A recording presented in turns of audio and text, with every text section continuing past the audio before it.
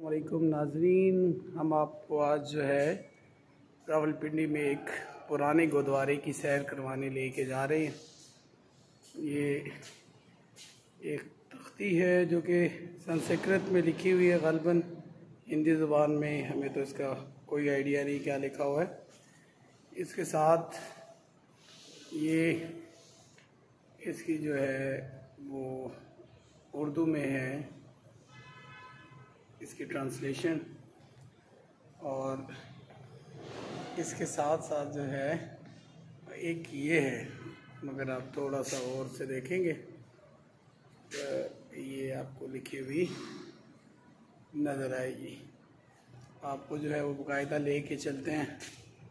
گردوارے کی جانب۔ گردوارہ تو نہیں رہا، اب یہ گورنمنٹ ہائی اسکول ہے، ضیاء العلوم، راجہ بازار میں۔ تو یہ آپ کو جو ہے وہ پالکی جو ہے وہ نظر آ رہی ہے، اپنی اصل جو ہے وہ شکل میں۔ تو کافی عرصہ ہو گیا، سینکڑوں سال ہو چکے ہیں، سو سال سے تو زیادہ کا عرصہ ہو چکا ہے۔